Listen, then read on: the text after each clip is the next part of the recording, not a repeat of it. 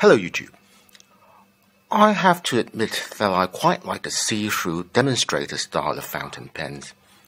It is getting quite popular these days. A number of manufacturers offer demonstrator versions of their pens, and some new pens are even made only in this form.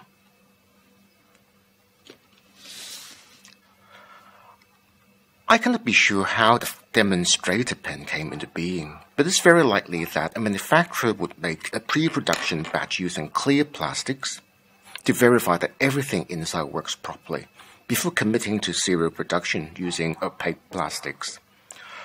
Also, a clear version would have been made for dealers to demonstrate how the internal mechanisms function Seeing how these mechanisms work is indeed quite a fascinating thing and appeals to customers, so it's understandable that the manufacturers would want to produce them for general sales.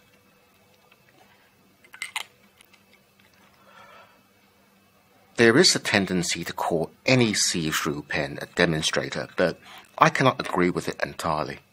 Say, for instance, an eyedropper pen with a clear barrel doesn't really demonstrate anything. It is just a full-size clear ink tank, really.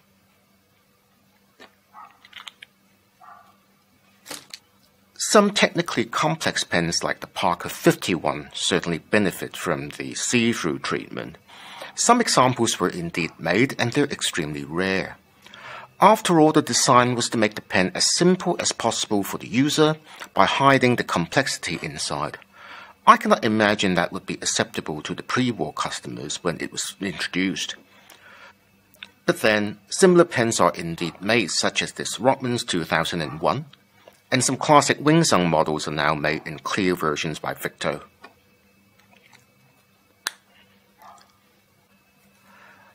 That said, the squeeze filler mechanism doesn't really work too well as it just ends up showing the metal sheath around it much like this Hero 97-1 and this Wuhan Angel. However, as the filling mechanism can be removed, I can easily swap them out for a clear converter, and that would certainly improve the looks quite a lot.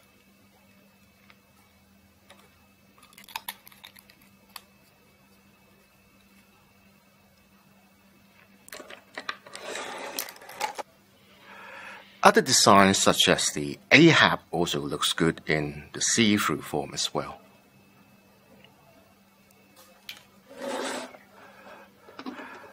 The design that really benefits from the see-through treatment has to be the piston filler.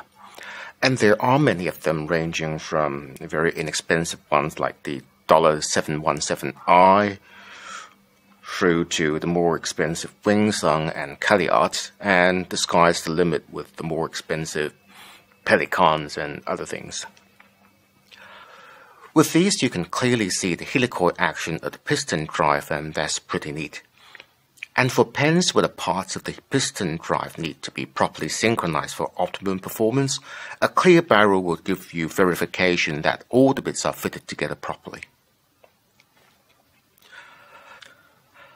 But there is another attraction of the demonstrator pen. You can see which ink you have put in, and that's great for artists using several pens filled with different inks. And seeing the ink sloshing around inside is also one of the small delights.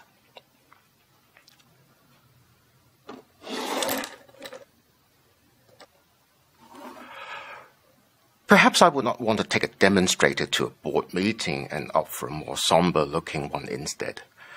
But then it is just one of the pleasures of being a fountain pen user, and sure enough, it'll give bystanders a second look.